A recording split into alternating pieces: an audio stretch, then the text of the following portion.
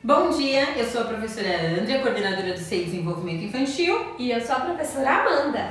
E nós estamos apresentando o kit pedagógico para toddlers e chus. E qual a experiência de hoje, prof. Amanda? Batuque! Essa experiência as crianças amam cantar canções.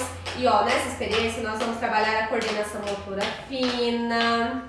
Exatamente. E o desenvolvimento visomotor, que é os olhos e mão. É muito importante explore o corpo, explore diferentes movimentos e através da música e dos movimentos finos, a criança amplia o conhecimento dos movimentos do corpo.